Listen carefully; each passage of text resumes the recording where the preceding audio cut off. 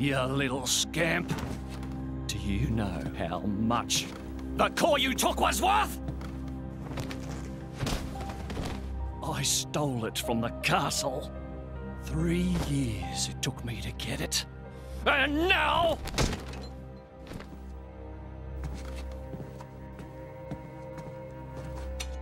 Please! She's barely ten years old! Silence! Stay out of it! You die, it'll be as good as new. You brought this on yourself.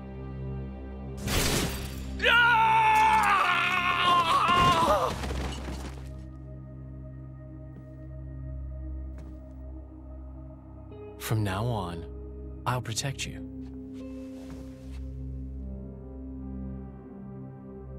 I'll keep you safe. Always. My name is Jin. What's yours?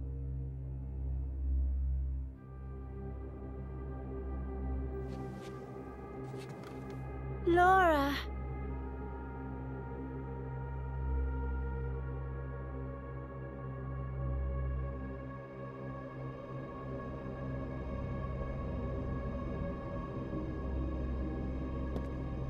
It seems like sending Akhos was the right choice. You alright? I've been through worse. I can handle it. Jin, I swear I'll make your dream come true. So stop putting yourself at risk. There's still time. Is that part of your dream, too?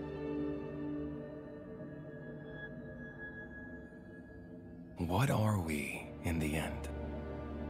This hunger I feel, this thirst, is it really my own? Or is it someone else's? Sometimes I can't tell. Tell me, Jin, are you really here? I don't know where I really am. You're starting to sound like a human. Oh, yeah? Perhaps we're not so different after all. Humans and blades.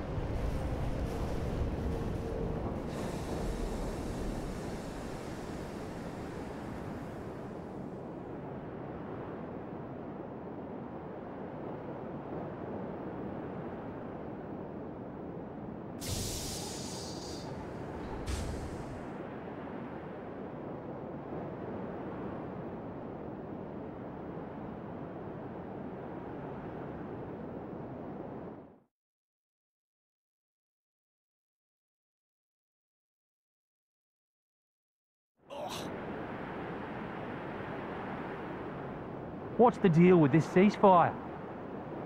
A tribunal, it looks like. Praetor Amalthus is here in person. And who's going to argue with the Praetor? Does he have any clue how many men we lost? If those Ardainians get away with this, Architect, damn it. Quit your grumbling, mate. All this is way beyond our pay grade. You got that right. We're all just faceless cannon fodder to the bigwigs. CO says jump, we jump.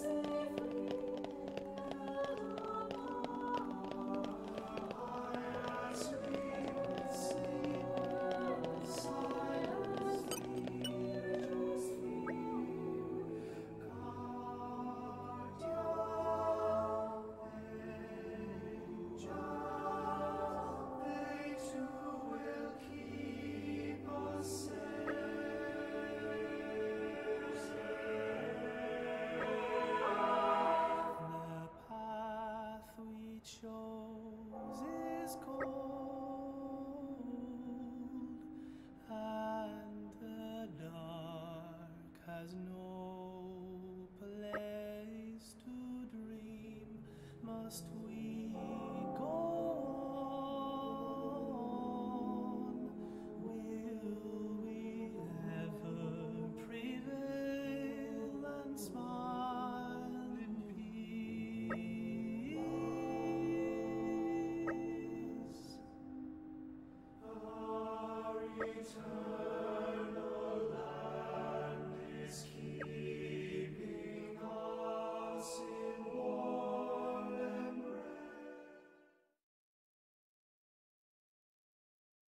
My deepest thanks to you for agreeing to this ceasefire. Queen Raqura, Emperor Niall. As I recall from the Assyrian treaty of 350 years ago, the Praetorium was to refrain from intervention in times of war. And yet here you are intervening. But I trust you have a suitable justification, Your Eminence. Naturally. But first, to ensure impartiality in these negotiations, may I present Niranira, acting chairman of the Argentum Trade Guild.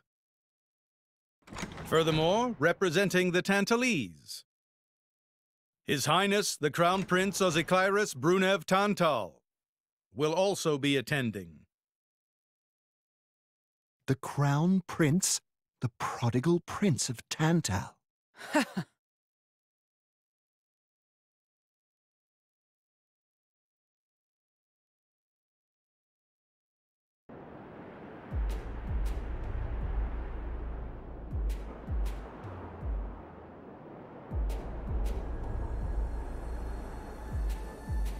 What a spectacle! Seems the Praetor has as much clout around here as ever. Could we not just take them out here and now? Good point. All the principal nations' heads gathered here? It'd make things easy later. The way to the World Tree must first be opened. Wiping out mankind is the easy part. We could manage that ourselves. Even so. That isn't our only goal, remember? We must wait for the stage to be set. Is Jin serious about this? Yeah. I've been wondering that myself. oh, he's serious. He always is. He will annihilate mankind, and then... He will kill the Architect.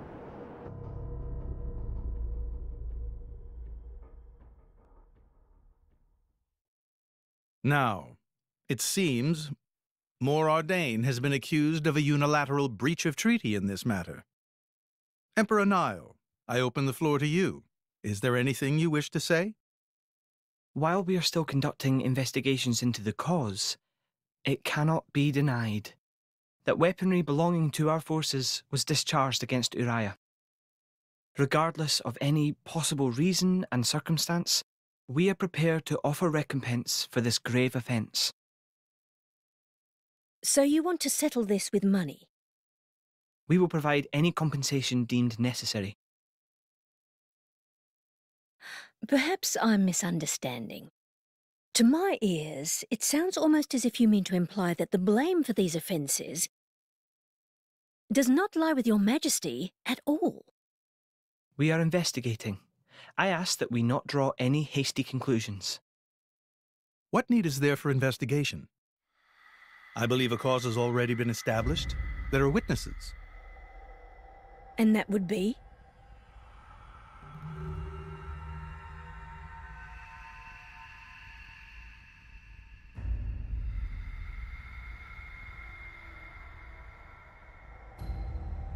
What a preposterous notion. The people you speak of are merely a terrorist group.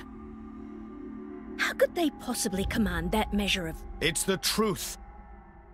I, Oziclyrus, swear this in the name of King Eulogimenos Tantal. Can confirm ex-chairman Bana give these people some kind of supplies. Military supplies, methinks. And in great number, yes. But why would. What if I were to tell you that the Aegis Malos, who raised the world five centuries ago, was involved? Ridiculous! Everyone knows he disappeared in a blaze of flame. He's very much alive, believe me. That arsehole, I mean, the Aegis, has confronted us in person. And if my word is not enough for you,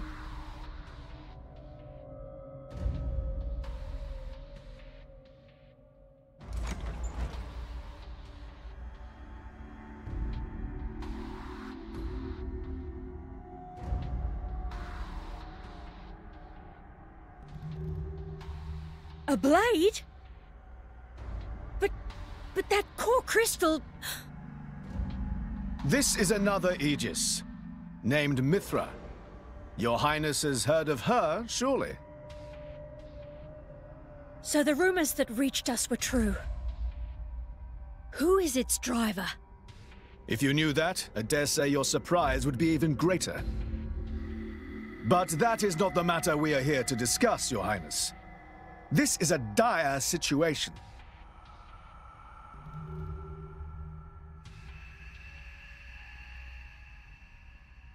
Six o'clock already. Mythra's been in there for a long time now. We've just got to trust them. They're dealing with the leaders of whole nations.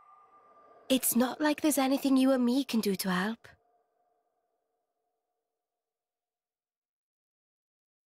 Ugh. Ah,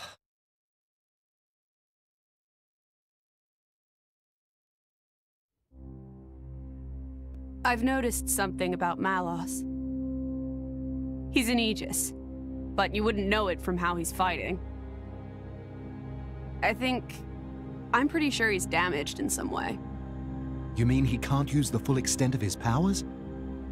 The wounds I dealt in our battle long ago may not be completely healed. His end goal is Elysium. He wants to go back to the place he was born. There he can heal until his powers have recovered. If Malos is allowed to restore himself, The horrors of five centuries past will return. or worse still, Malos's goal is simple. He means to destroy humanity in its entirety. Why would anyone desire that? Perhaps he doesn't even need a reason. It seems to be a deep seated drive, an instinct, as natural as breathing. All of this is my responsibility. Praetor Amalthus? Whatever do you mean?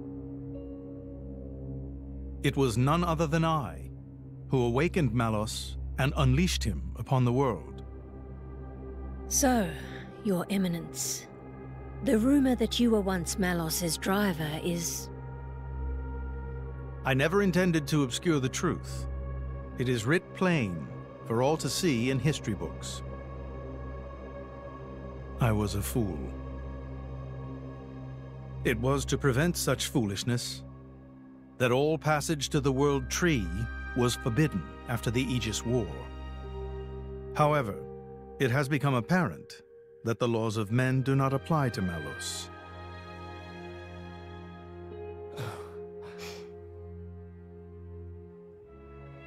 The time may have come to lift that restriction.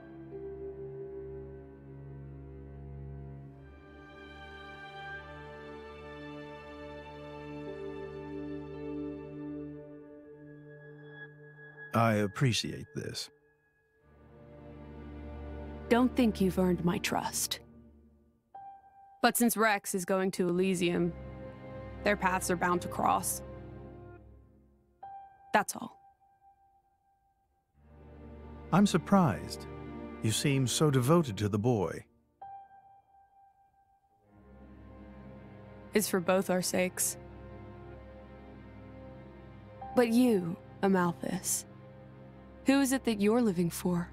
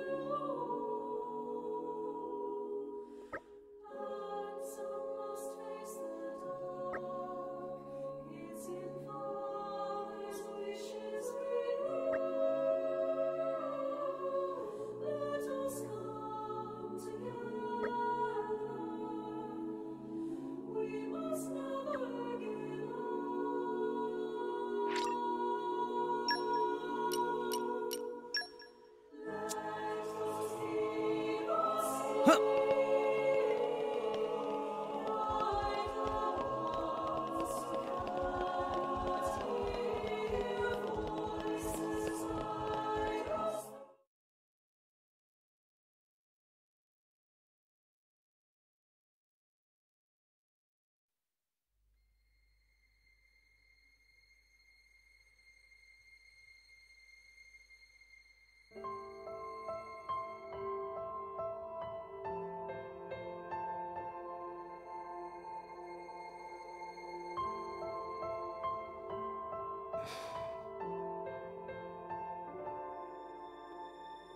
guess they did call her a goddess. The state funeral makes sense. Shouldn't you be with him? He's a boy. Best not to bother them at times like this. I expected you to be more clingy. You really are different from her. Actually, letting him be was more her idea than mine. Really? Pirates? Get out. So wait, you're saying you want to go be clingy or what? I'll burn you. I kid, I kid. Sheesh.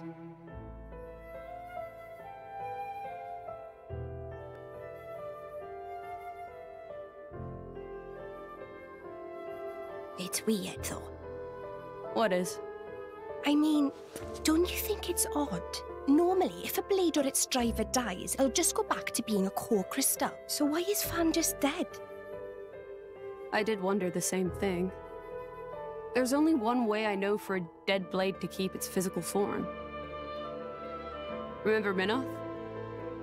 I mean Cole. He was a flesh eater. Yeah. But Fan wasn't a flesh eater. I can say that for sure. What's that? That's the shape of Fan's core crystal. Well, how it used to be. But now it's a triangle. Rex and I are quite a unique case, but this is different still. How is it different? If a blade shares its core with another, its shape changes in a uniform fashion. In our case, the center part went to Rex and the outer part to us. I don't know why that is, but it seems to be a rule. But Fans isn't like that. Exactly. It looks more like someone stole her core, doesn't it?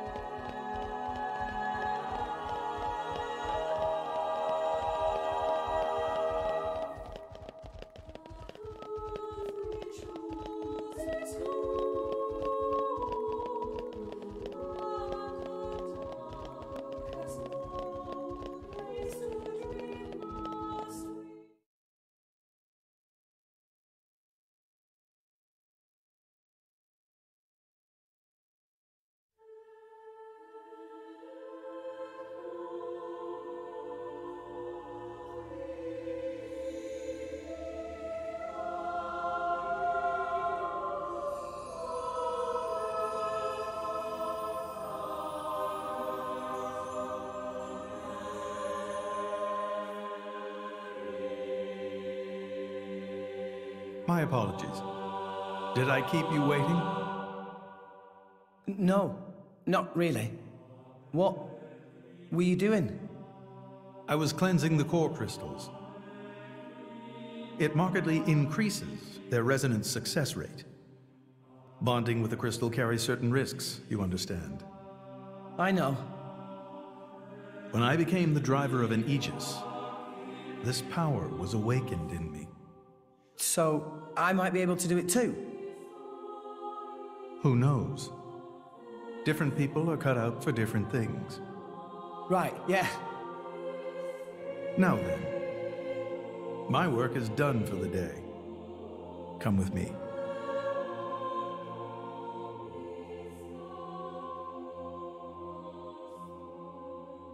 A special envoy? To Tantal? Me? Correct. Behold. As a salvager, I imagine you are already aware, but this is Alrest, the world we currently inhabit. We make our home on Titans, moving in circles around the world tree. And here lies the Great Void. This void came into being 500 years ago. It did not exist prior to that. So I've heard. It's in our way anyway. It stopped us reaching the world tree. The Great Void is carved from the Cloud Sea by a monstrous beast known as Ophion. Wait, you mean that thing?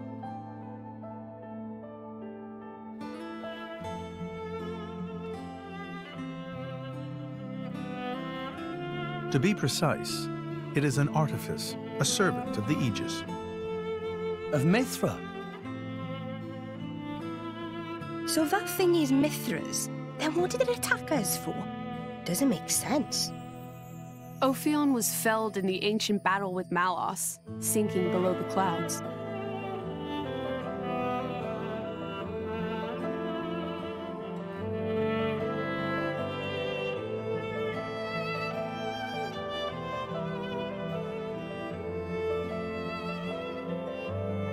This means someone must have revived it. Correct. And you're saying that someone was Zeke's home country, Tantal? Yes. They gave Ophion one directive to ensure that none approach the World Tree. They sought to prevent a repeat of the horrors of the Aegis War, so an obstacle was created the Great Void. How did they manage a feat like that? As I've said, mankind is regressing. Only one artifact remains that can rescind Ophion's orders, and it lies in Tantal. It's called the Omega Feta, and it's guarded by the royal family. I'll take you to it. I've prepared your envoy documents already. Your quest is to set foot in Elysium, correct? Malos and his ilk will surely seek the Omega Feta for themselves. I would ask you to reach Elysium before they do, and inform me of what you find there.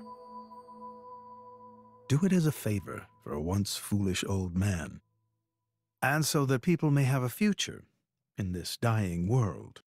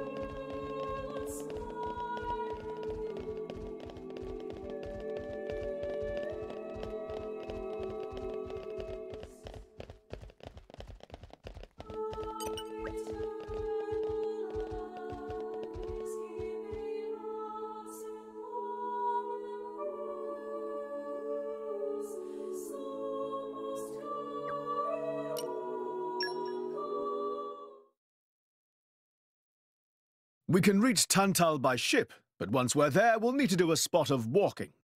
So we're travelling with Shell led? Never thought I'd see the day. I think you'll find I make a fantastic ally. Mm, luck of Zeke not so great.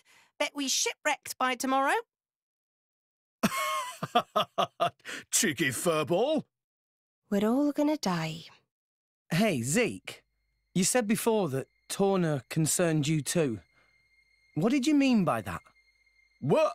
Oh, yeah, that. I don't know about those clans, but Torna, the country that fell 500 years ago, they were the ancestors of us Tantalese. The people of Tantal are descended from Addam, the hero of Torna who escaped its destruction. So, after Pyra fell asleep, Addam escaped to Tantal.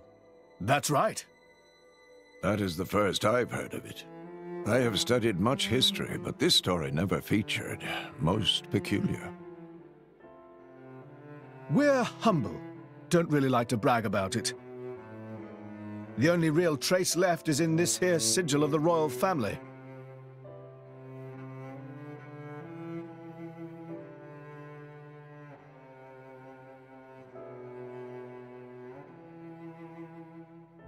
So why did you awaken Hayes? Because her power was of great use to me. Indol has found itself under attack from Torna a number of times. She was necessary in driving them back. Really? Then why don't you seem to have any others? Blades, that is. Driver though I may be, I am no fighter. Besides, I find the warrior monks here so reliable. They get the job done.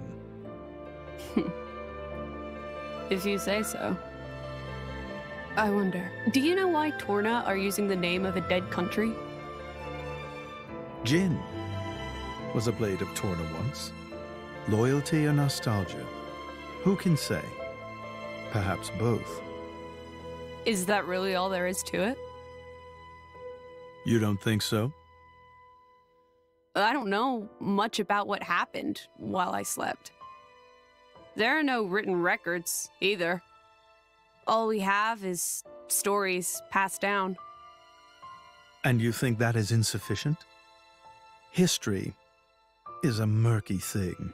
Only those present can truly know what took place. But weren't you one of those present? And that is why I offer you my cooperation. I guess we'll find out if we go to Tantal.